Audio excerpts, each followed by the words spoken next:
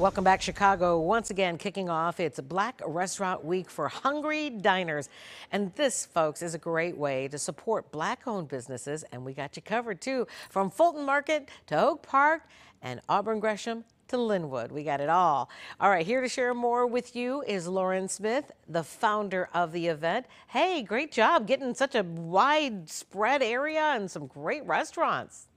Thank you. Good morning. Thanks for having me. Absolutely. We're glad you're here to talk about this. Okay, this is such a great way to expose people to some new eats. I want you to tell us what's on the menus for these various locations.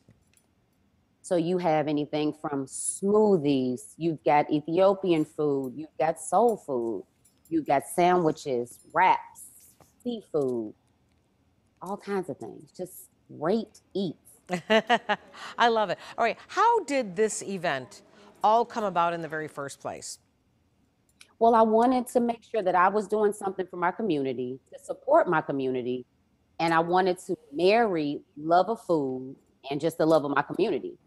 So that's how Chicago Black Restaurant Week got started. And plus, I wanted to see us have our own space, our own week or weeks to celebrate our great food. Yeah. What is it that you're hoping to achieve, you know, for the customer experience to be able to go to these places? What is it that you want them to walk away with when it's all said I and really done? want everyone to come away with finding a new favorite. That's kind of like one of my taglines now. I want you to find your new favorite because you never know what actually might be right around the corner from your home. A couple of my friends have found some great great places that they love so much and they had no idea that it was literally a block away from their home. How so about that? I'm just excited about that. Well, what I love uh, about this event is that you have really diversified some of the locations where people can go. Uh, I have to imagine that was intended, right? You did that it that way purposely, right? Absolutely, because our African American businesses are widespread. So I wanted to include the Chicagoland area as well as, of course, Chicago.